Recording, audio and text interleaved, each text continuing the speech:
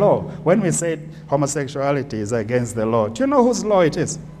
Do you know who brought that law? Have you ever seen the law? Do you know when it was written?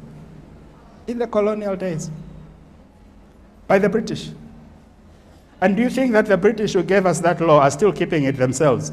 no. Then they're discussing same sex marriages. They've gone beyond. And here we are holding on to the law like it is ours. We even call it Zambian law. You owe it to yourselves and to your future to talk about these things, to deal with these things, to put us under pressure. We are responsible for this virus.